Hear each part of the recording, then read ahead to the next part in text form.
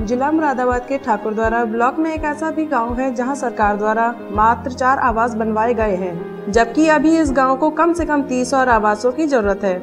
हम बात कर रहे हैं ब्लॉक ठाकुर द्वारा के बालापुर की ग्राम पंचायत की, जिसके ग्राम प्रधान महेंद्र सिंह है। उनके अनुसार अभी गाँव में 30 पात्र व्यक्ति है और जिन्हें आवास की आवश्यकता है, लेकिन अब तक सिर्फ़ चार और आवास मिले हैं। इसके साथ साथ उन्होंने अपने गाँव के लिए सरकारी अस्पताल की भी ज़रूरत बताई।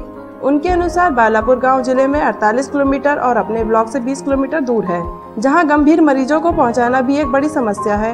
अगर इस गाँव को अस्पताल मिल जाए तो ग्रामीणों की एक बड़ी समस्या का अंत हो सकता है।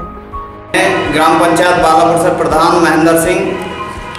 ये मेरी ग्राम पंचायत का जो है पंचायत घर है और इसकी हालात जर्जर। ये ऐसे छुट के गिर रहा है, इसके सुधार के लिए मैं चाहूँगा कि प्रशासन से कि हमारी मदद की जाए। और इसमें अवैध कब्जा कर रखा था लोगों ने। इसे खाली करवाया अभी, मुश्किल से आठ दस दिन में। मुश्किलों में खाली करा लोगों ने।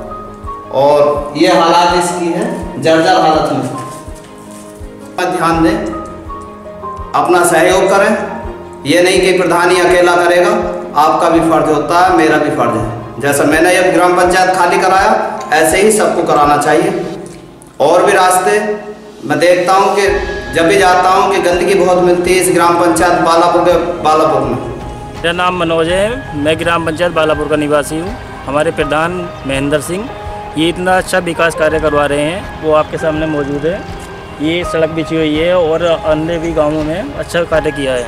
ये आपके सामने गोले पड़े हुए हैं ये, नाले के लिए। ये भी अपने विकास कार्य में लगने वाले हैं। और जो गाँव की साफ़ सफ़ाई है उसका भी कार्य अच्छी तरह हो रहा है।